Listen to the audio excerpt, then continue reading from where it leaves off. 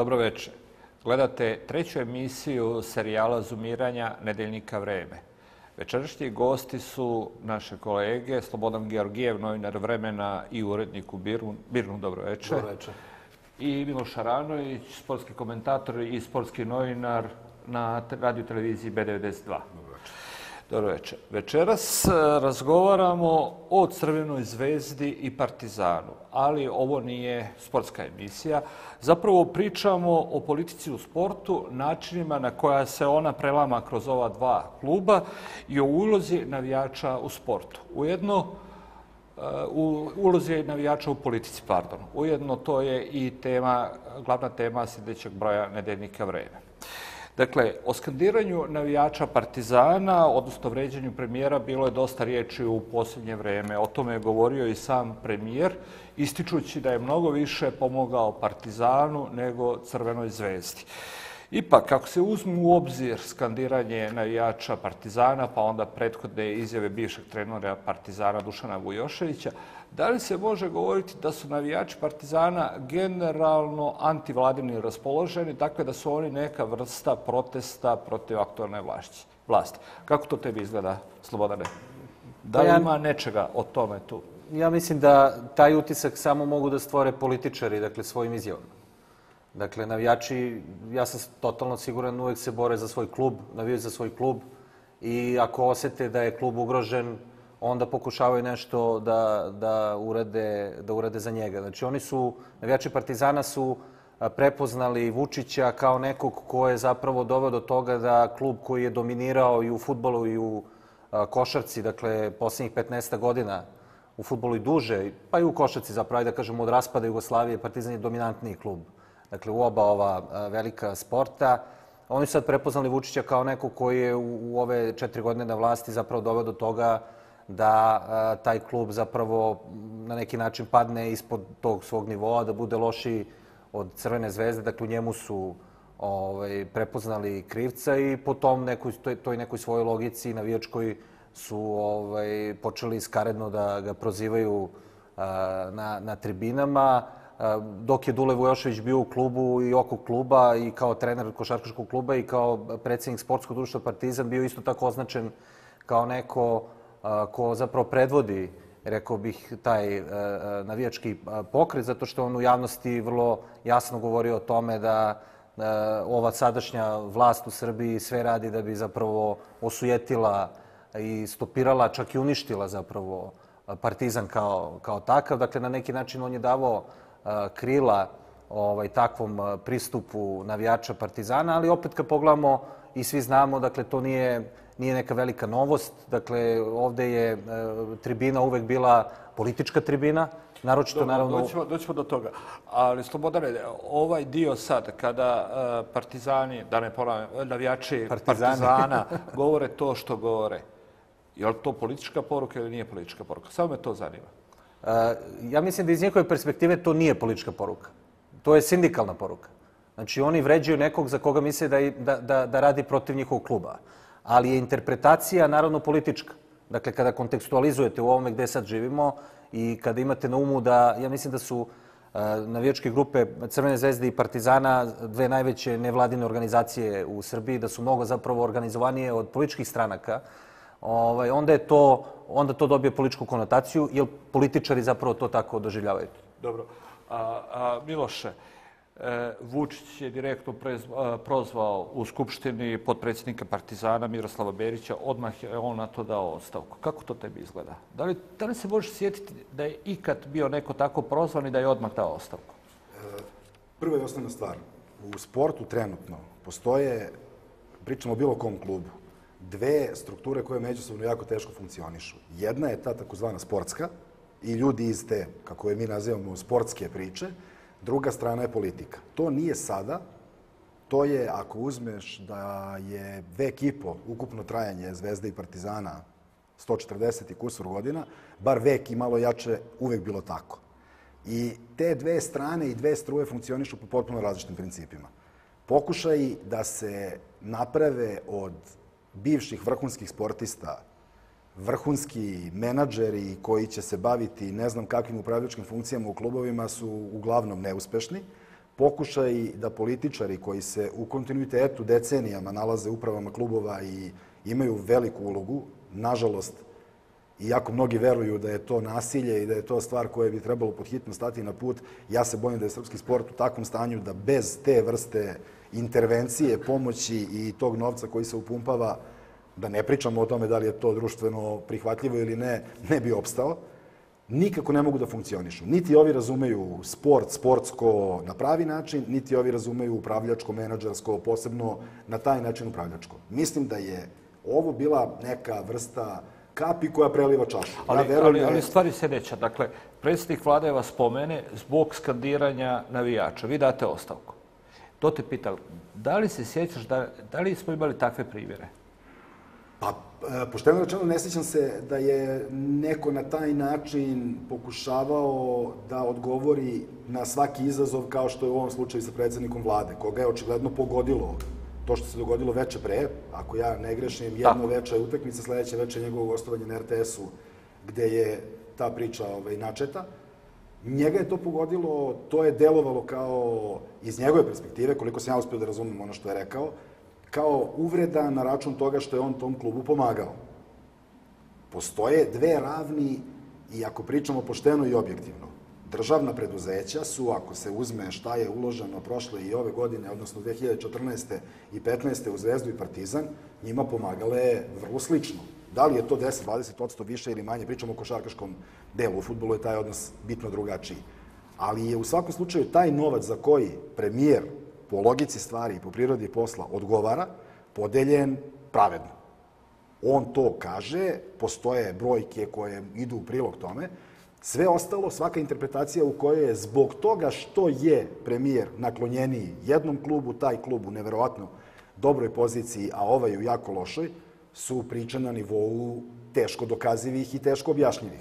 Da li zaista neka privatna firma daje puno novca u košarkaški klub Crvena zvezda da bi to bilo dopadljivo i simpatično, jako je teško tvrditi. Miroslav Berić je jedan od ljudi koji se nalaze na poslu koji je u ovakvo vreme i u ovakvim uslovima gde klubovi ne funkcionišu, u ogromnim su dugovima, gde je potrebno menadžerisanje, prelivanje, izmišljanje novca, vrćenje raznih finanskih klubova. Ali, Dule Vujošić, Dule Vujošić je svoje vremeno rekao, dakle, ja idem iz Partizana zato što zbog svojih izjava Partizan više ne može da dobije novac od e, javnih preduzeća, od sponzora, donatora, čega god. Berić... Ali to je teško dokaziva stvar. Dobro, teško je. teško... je otišao prošlog avgusta.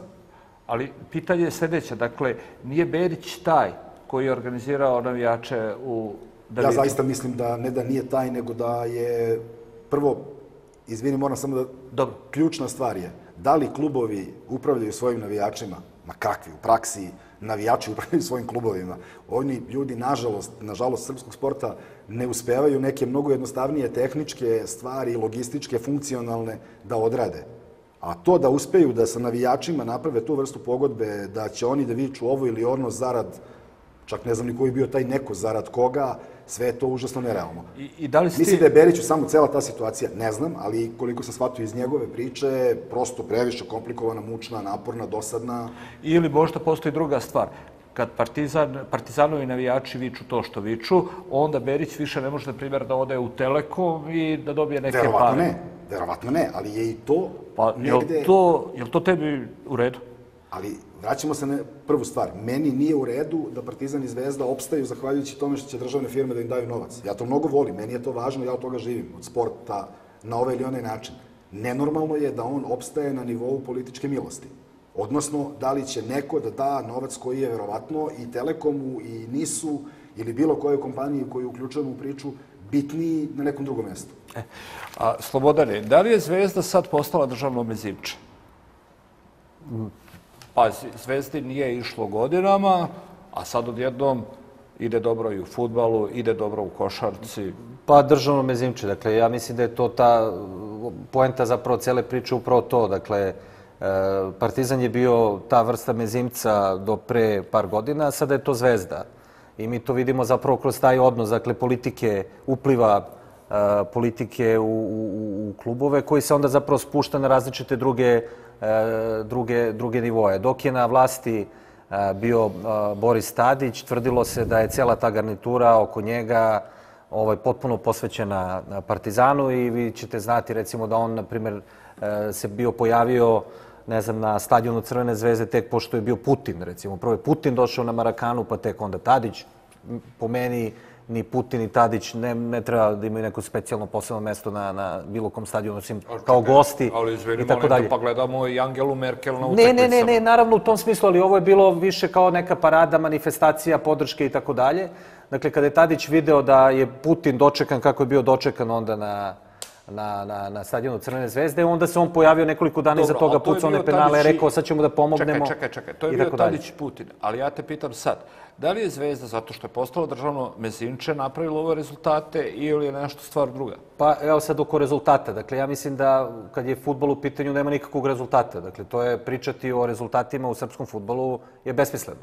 Dakle, on stvarno postoji neko takmičenje, postoje prvenstvo, ali to, ja mislim, blage veze s mozgom nema.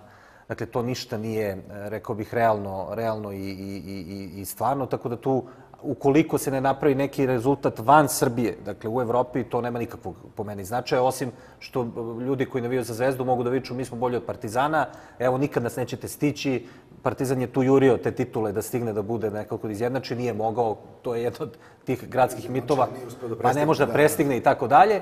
Ovaj, dakle, to je taj nivo. Dakle, van, van, van, van ove naše avlije, ako se rezultat ne napravi, to, to, to ne znači ništa. U, Ali, u, u košarci... Ne može da se Da. napravi rezultat, ok, gledamo ovu Avliju. Ali e, zvezdini navijači ne viču ovo što viču Partizanovi navijači. Naravno da Ajde ne- sad da. ja ne govorim da ja ne govorim to. Naravno da ne- da, naravno da da li ne to viču. znači da Čović, na primjer, može otići sa otvorenim šeširom mnogo lakše u Telekom ili u neko drugo javno preduzeće? Pa dobro, to mislim da je ono što se kaže javna, javna tajna. Ali ono što je naša nevolja, to je što mi zaista do kraja nikad ne znamo koliko je tog novca. I mi zavisimo od, od toga, od dobre volje premijera koji kaže ja sam dao svima isto. Pa nemoj ti da nam govoriš koliko si ti dao, jer nije tvoje ni da daješ, ni da se mešaš. Dakle, to apsolutno nije njegov posao. I kada on to govori, ne znam zašto govori. Samo govori da radi nešto zapravo što nije deo njegovog posla. Neka on lepo kaže, kada ljudi traže, neka pokaže Telekom, recimo, koliko je dao zaista novaca u posljednjih 15 godina. KK Crvena zvezda, FK Crvena zvezda, FK Partizan, KK Partizan. Neka pokaže EPS, neka pokažu druge firme Dunav osiguranje, otko znam ko je sve tu bio. Neka oni svi lepo otvore svoje bilanse i pokažu da mi to vidimo. I na koji način je, je, je to do toga došlo. A Ovo je sad kao da li daju više. I sad naravno da ovi ljudi kažu, aj molim te, jeste, sad on kao dao nama, nama jednako. Ja ne znam ko u to može da, da poveruje. A, a kažem, dakle, to nije njegov posao. Ja ne znam što se on uopšte u to meša. To nije prosto njegov posao. Njegov posao nije da deli novac klubovima. Dobro, njegov posao nije da dijeli ovaj novac klubovima. Miloš, ti si spomenuo da je otprilike košarkaški klub Crvena zvezda i koš- košarkaški klub Partizan da su dobili podjednako To novca, su podaci koji su oni... ali si rekao da je u futbolu drugačije. To su podaci koji su nam rekli. Znači, to- Takođe, isto, isti je izvor. E, opet postoji još jedan fenomen koji je još teže objašnjiv. Ovde je konstanta, ali to sad nije pitanje protekle četiri godine, nego proteklih previše godina, da se uvek nekako, ako iko moguće finansijski pomaže i taj slabiji barabar sa ovim, to je jedna od ono neverovatnih gluposti koja ovde traje kroz vreme, a koju bi bilo nemoguće prekratiti, jer je uvek u tom trenutku kada bi trebalo odlučiti neko bolje, neko gori. I nikada one koje trenutno gori neće prihvatiti da je to pošteno i pravedno. Pokušano je čak par puta da se napravi neki pravilnik, da ga tako nazovemo, ko, po kojem se valorizuju rezultati, ovo što slovo priča, pre svega rezultati na evropskoj sceni, da bi se znalo u koga više vredi ulagati. Ali to je prosto u društvu koje je matematički podeljeno praktično na dve strane navijački. Ako zanemarimo činjenicu da mnogima to više ništa ne znači, nemoguće. Uvek je neophodno onome ko se davi dati malo više, malo brže ili Nije, šta bilo je tu- Da li je Zvezda dobila više para od Partizana Fudbal. u futbalu? Da, definitivno jeste. Koliko više? Ne znam, zaista. Pa, Pa eto, evo, to je rekao 5 mislim, do 10 puta više. To, je, to, to su te pri... Znači, ja se sećam, on je jednom bio na RTS-u, donio neke papire. A, Rekao je, evo vidite, Olivera, ja ću vama to da ostavim, vi to objavite. Nikad to nismo objavili. Znači, mi smo tražili te podatke od Telekoma sto puta, nikad nismo dobili. Znači, dok se ne objave svi ti podaci, ne znam koliko su njima dali novac. Dakle, mi znamo otprilike koliko je neko dobio novac. Ako gledamo Gazprom, kao deo, recimo, tog srpskog biznis sistema, Zvezda je dobila mnogo više para. Jer ima prosto ugovor sa velikom firmom koja, koliko čujemo, svake godine daje 4-5 miliona evra. Partizan nikad nije imao, ja mislim sigurno ni sa jednom ovaj, firmom tak, takvu, takvu vrstu. Međutim, da li je Gazprom međutim nije ovde, sad, ovde nije stvar u novcu. Znači, nije, stvar, nije, nije, pitanje novca, nije pitanje novca, nego je pitanje sledeće. Dakle, da, da je u jednu trutku, recimo, dok je Zvezda bila na, na jako niskim granama, pogotovo recimo u košarci, stekao se utisak, recimo, da ljudi koji su vodili Partizan su bili skloni da guraju tu stvar dotle da Zvezda bude ugašena.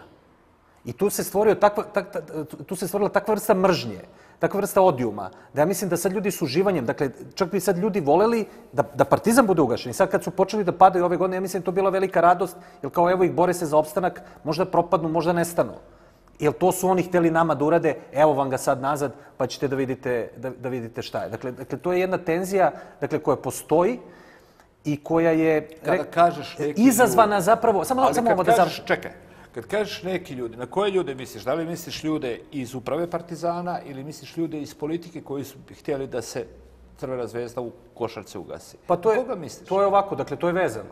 Dakle, to je vezano. Partizan dok je bio na, na da- dok je uh, Tadić bio uh, u vlasti, dakle, dok je tamo u, košarkaškom klubu bio važan Dačić, bio važan Tadić, bio važan Milorad Dodik, znači oni su funkcionisali na određen način.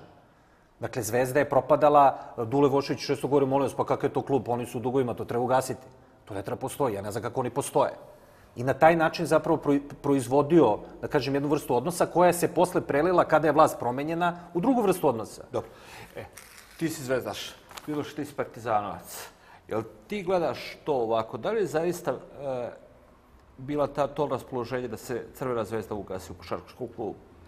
Sad, a, opet možemo da uzmemo, da, neke izjave možeš da tumačiš sada kao želeli su da se Zvezda ugasi. Ja dosta ljudi znam kojima je to važno, prosto bilo bi, ja stvarno mislim da je kraj srpskog sporta moment kada se jedni od njih ugase, ako ne prihvatimo da je kraj srpskog sporta iza nas i da ovo više nije funkcionalni i ozbiljan sport. Ali definitivno ni jedna vlast, ubeđen sam, čak u zemljama u kojima je sport manje važna stvar, neće sebi dozvoliti da se jedna od te dve, kako god da ih nazovemo, sekcije sportske, odnosno dva sportska društva ugasi, jer je i dalje preveliki broj ljudi kojima je sport važan na nekom emotivnom nivou. Ako Zvezdi ili Partizanu izrazito ne ide, ako su rezultati loši, ako su problemi svakodnevni, navijač jednog od ta dva kluba, čiji je klub u problemu, je nezadovoljan. Ne pomaže mu ni unapređenje na poslu, ni dobre ocene deteta u školi, ni neki skroman finansijski boljitak. I obrnuto, ako klubu ide dobro, onda su svi problemi, nisu svi, ali nekako malo manje strašni. To je prosto fenomen navijaštva. I svetla tog, odnosno u tom svetlu je ono što ti pitao, da je situacija obrnuta, nisam siguran da ne bi bilo obrnuto, da ne bi vređali aktuelnog premijera drugi navijači, a ne Misliš navijači Zvezdani? Partizana. Da je obrnuto. Sa Tadićem postoji fenomen da ga vređaju, čini mi se, jedni i drugi u jednom trenutku. Nije, ja nisam čuo da su, da, ga, da su ga navijači Partizana Ma vređali. kako ja ne? da ga je Sever vređao. e sad, to je opet ono fenomen zvani, mi volimo da vidimo u svemu ozbiljan sistem i ozbiljnu strukturu. Kada je u pitanju ponašanje navijača, postoje neke tačke kroz noviju istoriju gde je to očigledno. Da, postoji arkan, fenomen pravljenja vojske praktično od tribine, u jednom momentu, dela tribine, kako god hoćeš da definišemo. U većem delu vremena je to dobrim delom anarhija. I mislim da je precenjivanje organizacije, logistike, nekakvih fenomenalnih organizacijalnih sposobnosti tvrditi da se to instrumentalizuje precizno, dobro, jako i na vreme. Da li, ako sme samo, Sa- samo da ajde, se da, na da. ovo, dakle, vrlo važno mesto. E, Šta je, recimo, šta se promenilo za poslednje tri godine, na primjer, na toj navijačkoj sceni? I mislim da se promenilo sledeće, da su se strasti smirile, na primjer. Znači, vi nemate više, znači, nekoliko sezona unazad ili nekoliko derbija unazad. Recimo, vi nemate velike, velikih tuča. Ja mislim da je poslednja ona bila kad su Imaš prošle Zvezdini... godine kasni 45 minuta derbi zbog tuče To je bilo to je, to je bilo zadnje, to je bilo tad zbog nekog sukoba. Nema godinu ali, dana. Dobro, ali Čekaj, ali hoću do- kažem dakle mislim da je da je tenzija u tom smislu a, Čekaj, spala. da, hoćeš da kažeš, dakle, imamo uh, paradu ponosa, ali nemamo više ispade huligana. Jel to hoćeš da kažeš? Tih navijača, ili o tome pričaš? Ne, ja hoću da kažem da je, da je Vučić zbog toga što je, e, e, što ima takav, e, da kažem, background, dakle, koji se često vezuje za navijače, dakle, uspeo na neki način da tu, i on je pričao isto sam, da je često razgovarao, dakle, i sa vođama zvezdnih navijača, i sa vođama partizanovih navijača i tako dalje, dakle, da on malo uspeo tu scenu da primiri. U tom smislu da, da ne budu da, da, ne bude, da ne bude klanica neka opšta na ulici, bilo zbog derbija, bilo zbog neke druge utakmice, bilo, evo videli smo u Nišu je bilo finale kupa, s jedne strane su bili oni, Zvezda znači nisam vidio da je bil, bilo kakav ne, ne, ne, neki sukob, evo bio je sad derbi, prošli derbi na Marakani, to je okej okay bilo, dakle ni, ništa se tu nije, nije, nije dešavalo. Ovde je sad problem, dakle, u tome što uh, on uh, uh, veruje da to što navijači Partizana skandiraju je zapravo neki način e, otkuzan, kao eto, ništa vam ne valja. Dakle, za, zašto to rade? Kad je on, on je nešto za njih isto uradio. Ja ne znam tačno šta, ali nešto uradio čim je uspio da ih na taj način primiri. Pa i oni su se na neki način i pomirili. Dakle, te grupe posvađenih navijača Partizana, jel tako? Dakle, nije više toliki sukob između istoka i, i juga kao što je, kao što je ranije postojao. Promenio je upravu. Znači, promenio upravo, otero Đurića, doveo svoje ljude tamo u futbalski klub. Ova isto transformacija koja se desila u košarkaškom klubu je isto na neki način rukovođena eh, od strane ljudi bliskih eh, Vučiću. Dakle, on je na neki način tu svuda uspostavio kontrolu i mislio da je sve to, sve to u redu. A onda se oni skupe u halu sportove i krenu da ga vređaju. I ja mislim da njega to totalno nervira. Dakle, da, da i ti ljudi koji on poslao tamo u taj klub, da nešto re, reši, shvati ovo što si ti rekao. Da oni to ne mogu da kontrolišu. Znači ti tribinu ne možeš na, na tom jednom nivou da... Manje stvari možeš Miloše kaže, ali u stvari, hoću da te pitam koliko ljudi u Srbiji učestvuje e, na sportskim događajima? Koliko ljudi, koliko ljudi učestvuje kao navijači? Ako posmatraš da je, evo, prosto matematički, Partizanove najposećenije utakmice ove godine futbolskog kluba, čak i 2015. celu da uzmemo, su 20.000 ljudi. Najposećenije košarkaške, s obzirom da nije bilo prilike da se igra u areni, su pun pionir. I to ne prečesto. Da ih prosto sabere što je 27-8 hiljada. Zbir nije prost, nego su to 20 hiljada. Ako posmetraš ljude koji redovno odlaze na utakmice, onda je to sa košarkom 4000, 5, sa futbolom manje od toga. Uglavnom istih ljudi. Ili opet nije ni prost zbir od 10.000, nego je 7-8 hiljada. Na zvezdinoj strani, kada je košarka u pitanju, brojke su vrlo slične, ne računajući utakmice u areni koje prosto, ali utakmice u areni dovedu tu mnoge ljude koji inače nikada ne bi otišli na utakmicu bez obzira da li je razlog to što im nedostaje komfor u običajnim okolnostima ili im je prosto ovo događaj koji je događaj, a ovo nije. Na futbolskim utakmicama u doba one mobilizacije neka bude da je 25.000 neki ono maksimalan broj. Te dve brojke kada sabereš, deluju kao 40, neka bude. Od tih 40, bar 20 nisu navijači koji će se na bilo koji način uključiti u bilo kakvo masovno događanje. Sve to zajedno je mali broj ljudi. Ovde se dešava velika promena ako uzmeš da porediš bilo koje vreme kada je u pitanju brojnost i energija tih navijača. Delimično možemo da prihvatimo da je to zato što se to smirilo. Dobrim delom klinci ovde jako često i potpuno je postalo normalno ne navijaju za Zvezdu i Partizan. Stvorili smo ambijent u kojem se navijač i bandica nožem spreman da ubije izjednačavaju. Mnoga porodica je odlučila da svoje dete po svaku cenu sklanja od toga. Ako bolje da se drogira nego da je navijač. Mislim da banalizujem stvari. Manje ih je. Prosečna životna dob navijača raste. Energija opada. Sve zajedno daje rezultat da ako uporediš ovo sa 2000-tom ili 90-tom, ako uzmeš te dve neke, recimo, godine u kojima se krupne stvari dešavaju sa navijačima, da imaju veze s politikom, ovo sada neuporedivo manja snaga. Dalje imamo taj fenomen. Dakle, mi, to je, dakle, da kažemo, 40.000 ljudi, plus, minus. U naj... U... Ajde, nek, da, da, iz, iznad toga nije sigurno. Dakle, od tih 40.000 ljudi. A zašto se nama čini tih 40.000 ljudi ili ne čini nam se, zašto je tih 40.000 ljudi toliko prisutno u javnosti? Što su te poruke koje one na tribinama izvikuje? Imaju li oni neko utemeljenje u političkom životu pred izbornu kampanju, u izbornoj kampanji? Ja mislim da ne, odnosno mislim da je prosečna to, ako uzmeš na tribinu, recimo pomenutu istočnu ili zapadnu tribinu stadiona ili onu mirniju stranu pionira, bez obzira ko igra, to je ona suprotna, da uzmeš uzorak od 20 i to je stvar koju ja ono godinama zaista znam, viđam te ljude, znam ih, jako se ovde lako od toga stvara masa koja razmišlja isto i koja je ista. Ne, raspon godina je ogroman. Ima klinaca, ima starijeg sveta. Raspon interesovanja, ne računajući ljubav prema tom sportu ili prema tom klubu, vrlo široko i jako je to teško ujednačiti i ravnotežiti. Političko opredeljenje, bitno drugačije. Postoje ljudi koji odlaze na utakmice i koji, ako posmatra što levo, desno, centar ili kako god hoćeš vlast, opozicija, glasaju i podržavaju potpuno različite stvari. Ili ih ne prate. Ne postoji tu jednostavno objašnjenje. Postoji drugi fenomen kada su navijači u pitanju, to je psihologija mase, gde je sve što se viče nekako prihvatljivo. Pa se tako desi da decu Milana Gurovića ili decu Saše Pavlovića vređa 5000 ljudi. Mene niko ne može da ubedi da svih 5000 ljudi besprizorni bezumnici kojima je potpuno legitimno da vređaju dete od 5 godina. Ali se stvori ta zapaljiva, sumanuta atmosfera u kojoj šta god da se viče idemo, sad smo svi u tome.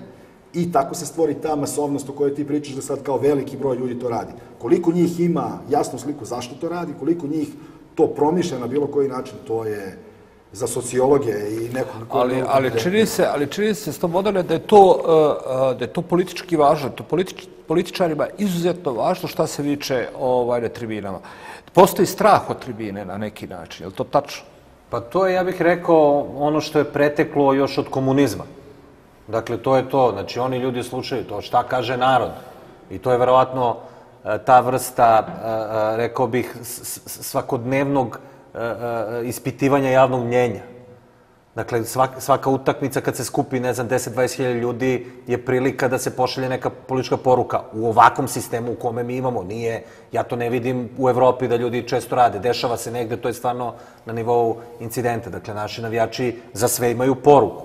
Znači, na severu oni svake nedelje ispisuju one trake i ovamo na jugu i tako dalje. Znači, to su, to je jedna grupa, dakle, koja ima vrlo jasne političke stavove. I kao takve ih se uzima, rekao bih, od strane političara i tako ih gledaju kao neki materijal koji je bolje da imaš na svojoj strani nego da ga nemaš.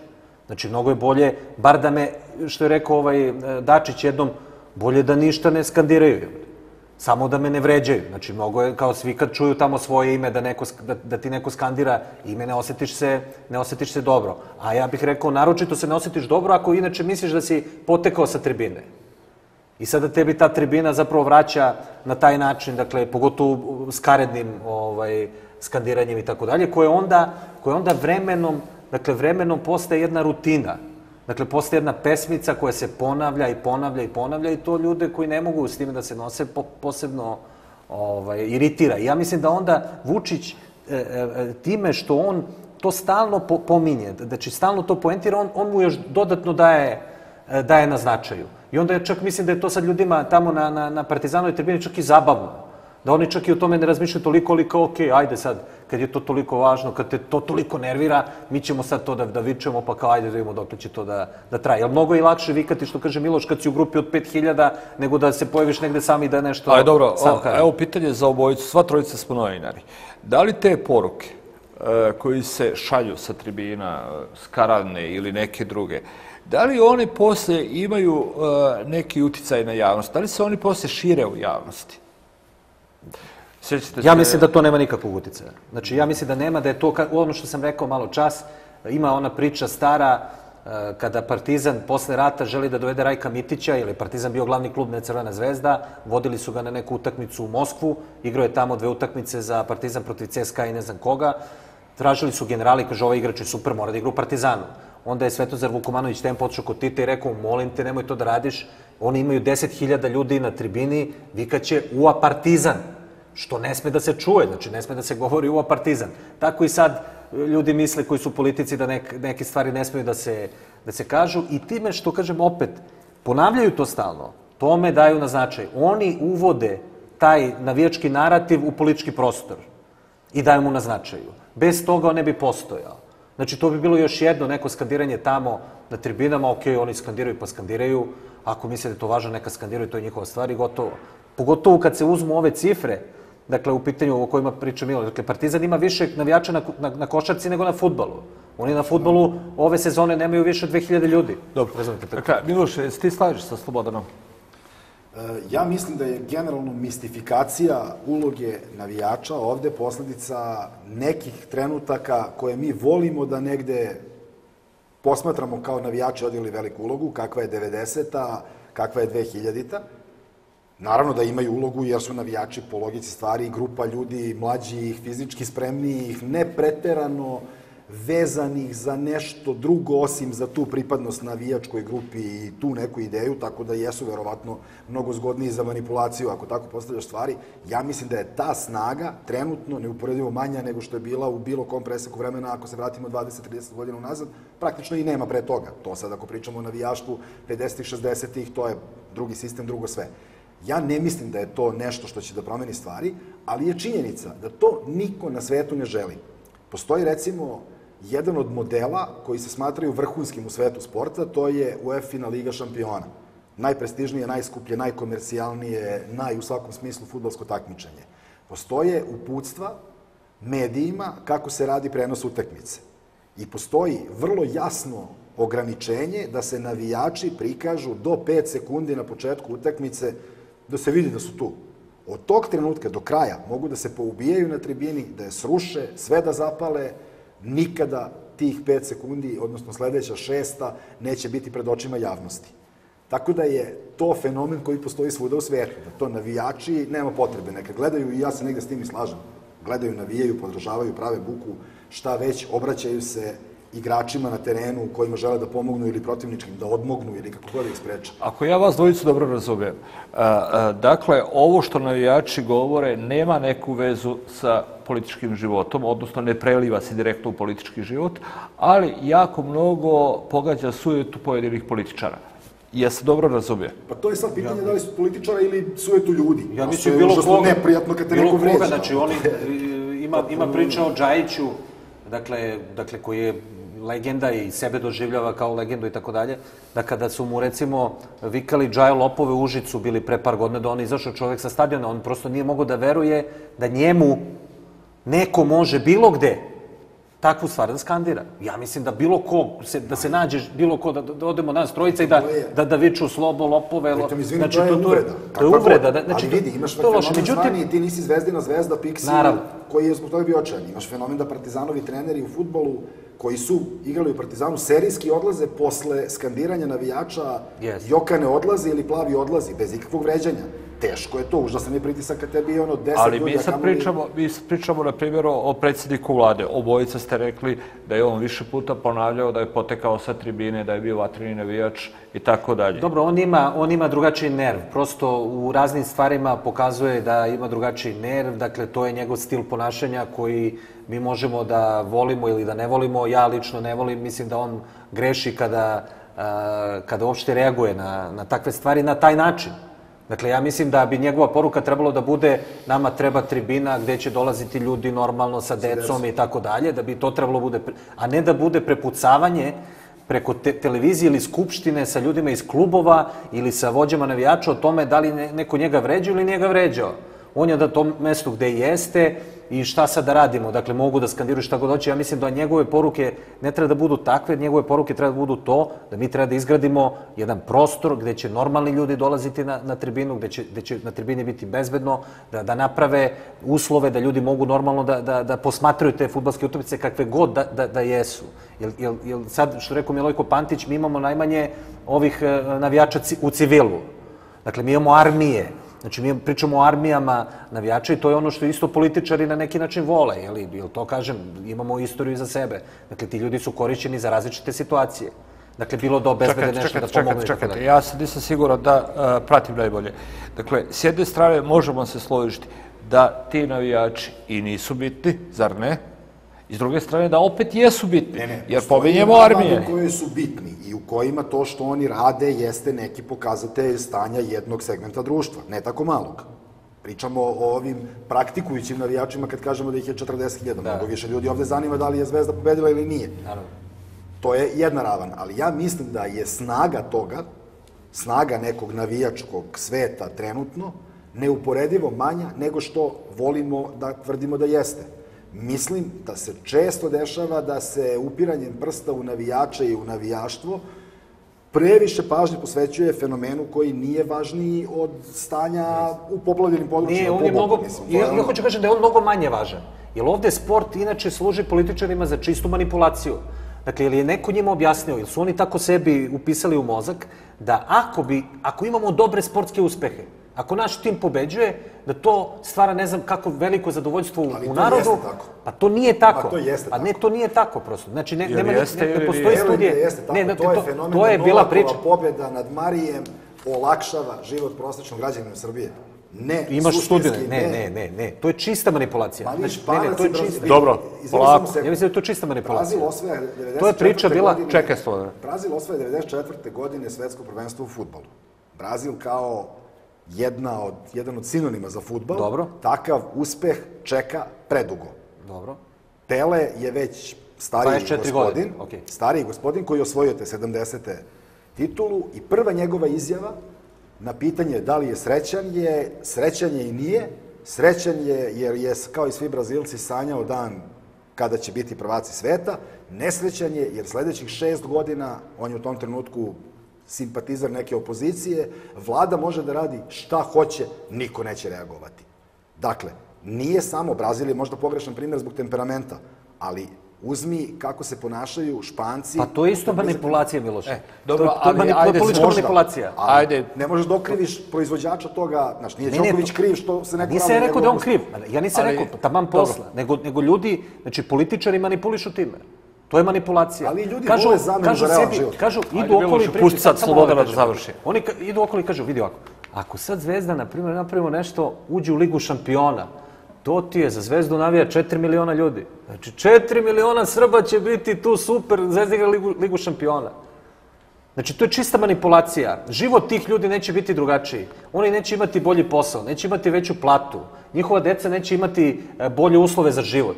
Znači, to je čista manipulacija. Naravno da neće, ali će Čista, oni znači, čista, čista politička manipulacija. Dobro. I zbog toga, samo ovo, što se time manipuliše, onda su osetljivi kada viču nešto što im ne prija. I zato je ceo taj nesporazum nastao. Dobro, a ako imamo sad, pošto moramo emisiju da privedemo kraju, ima jedna stvar koja se čini važna. Dakle, predsjednik vlade koji, kao što znamo, se miješa u sve, je više navrata izjavio da je situacija u Zvezdi i Partizanu takva da je on tu nemoćan, da je tu država nemoćna. Zašto on to kaže, a recimo rešava razne druge situacije? Zašto se on tu povlači, a ne povlači se, na primjer, kad je u pitanju ekonomija, poplave ili nešto drugo? Pa Pa za... za- ne može se, izvini, ne može se povuče kad su u pitanju poplave ili ekonomija, pobogu. Dobro, ne Ali može. ovde je sad problem druge vrste. Situacija u tim klubovima, ako je posmatraš ekonomski, ako staviš stvari na papir, jeste nemoguća. Oni ne funkcionišu. Oni su živi jer ih se održava u životu. Održava ih se u životu jer bi bez obzira na to što čak i ja kao potpuno racionalan i odgovoran čovek svestan da bi ih trebalo pustiti da propadnu, bio bih nesrećan da se to desi. Previše je ljudi koji bi bili jako tužni. Na kraju krajeva, ovo što si ti pomenuo sa zvezdom i zvezdanim navijačima. Moji dobri prijatelji sada su zadovoljni što zvezda juri top 8 Evrolige. Ne misle da žive bolje, ne misle da su sve probleme rešili, ali su nasmejaniji, lakše funkcionišu. Očajni su bili kada je zvezda bila u najgoroj krizi, pričamo o košarkaškom klubu Crvena zvezda. Svi političari kroz noviju i stariju i kakvu god hoćeš istoriju Dobro, su svjesni toga. okej, to smo već rekli, ali a, ajde, možda sam ja upotrebio a, primjer koji kaže, kaže ovako, dakle, imamo Vučića, kad su bile poplave 2014. Dakle, predsjednik vlade zaista ne znam šta može da uradi na terenu. Nije njegovo da iznosi boce, flaše, vozi čamac ili tako dalje. Dakle, njegovo je da sjedi u vladi i u rukovodi. Ali on je svejedno otišao tamo. Ali imamo predsjednika vlade koji se smatra da može biti jednako i da proziva na sjednicama vlade, tamo neke ljude, sjećamo se toga, ali odjednom on se kaže ja sam nemoćan kad je Partizan u pitanju i kad je Zvezda u pitanju. Ako je tačno ovo tvoje, da bi oni, da bi propali ta, ta dva kluba, da li slobodane predsjednik vlade misli da bi, i to, da bi to bila veliki, velika njegova greška ili možda najveća, pro, najveća greška u Pa karijeri? dobro, ja mislim da ovde apsolutno postoji ta vrsta straha da neke stvari ne smeš da uradiš. Znači, to je to. Znači, ne smeš ti takav klub ne, ne da ga ugasiš, nego ne smeš ga pošalješ u niži rang takmičenja. Znači, to je dotle došlo, što isto mislim da je apsolutna mi- mistifikacija. Znači, mistifikacija. Znači, u Škotskoj postoje klubovi koji su ono 100 godina stariji od Zvezde i Partizana, pa je klub završio u, u beton ligi kad više nije mogao da, da, da funkcioniše drugačije, je li tako, Rangers? Je li tako? Ali izvini, E, ovo sad- je sad- da je jedini primjer te vrste u svetu. Ne, ne, ne, ali, da- da- dakle, postoje takvi slučajevi. Dakle, opet vraćam sa sledeću. Znači, on je sam u to ušao. Znači, on je upao u klub, u, u FK Crvena zvezda, sa svojim ortacima, 2012. godine u decembru, kada je bio samo prvi potpredsjednik vlade Srbije. Znači, on, on je ušao u to. A onda nam tri godine kasnije kaže, ja to ne mogu da rešim. I kaže nam da u stvari ne može da reši samo zvezdu, pa, odnosno to kao Zvezdu, spo- Partizan. i politiku. I politiku. Znači, to mu je, ne- sve može drugo da, sa svim može da izađe na kraj, samo sa tim. A mi, a mi ne znamo šta je to. S čim on to ne može da izađe na kraj? Da li je to da su to dugovi koji kad pogledaš, ako je država u to ušla, šta dugovi, 50 miliona, pa to je besmislica. Dakle, da, da li je to problem, da li je nešto drugo problem? Ili je problem samo to da se kontroliše neka masa koja treba da, u stvari, viš, ne znam, vičemo ili, ili ako ne vičemo ime, barem da, da ne viče protiv mene i kao biće sve u redu.